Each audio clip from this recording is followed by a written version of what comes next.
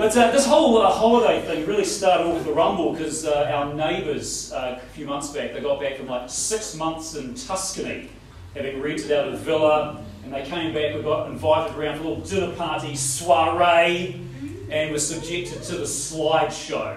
And by I don't mean they like plugged in an iPad HDMI into the Samsung. They literally had one of those old carousel slide projectors connected by click clunk whir, click clunk whir.